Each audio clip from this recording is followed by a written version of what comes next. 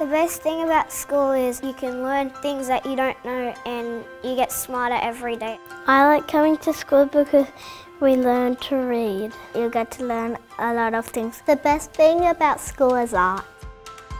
Our success at Ashtonfield is built on relationships. Our motto is, together we succeed, everyone everywhere and every day. And our staff make sure that every student has somebody to look after them every day.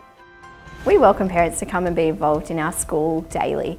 We value the partnership that parents have as part of their children's learning in our school and we provide many opportunities of communication to ensure that the messages within the school are reaching our community.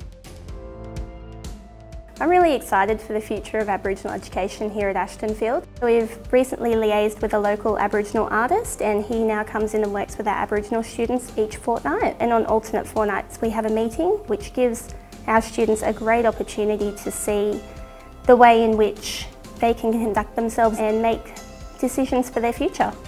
The students at Ashtonfield are kind, friendly, welcoming.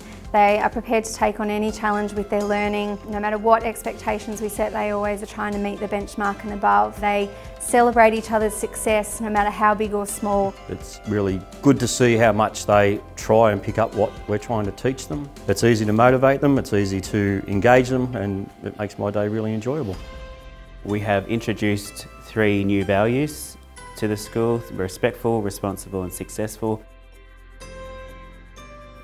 I like my teachers because they're very smart and they teach me what I don't know. I like my teacher because she's very kind. She teaches us a sound every day.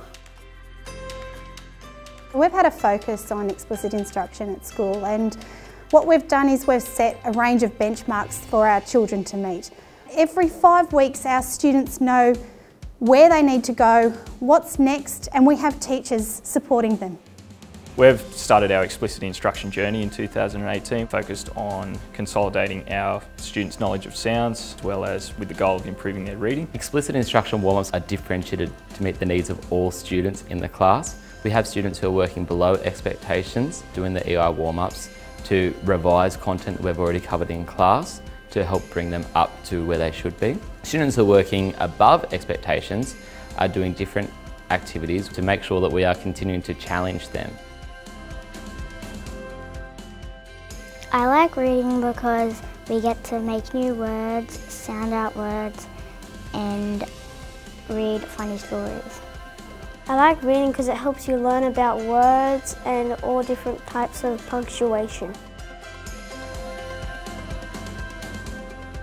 At Ashtonfield Public School we provide many opportunities in sport. So we work hard on providing a quality programming in Friday sport and lessons catered to the level of the students. Dance is a big part of our creative arts. We encourage our many talented students to take part. Creative Critters is our transition to school program that is run for our pre-kinders.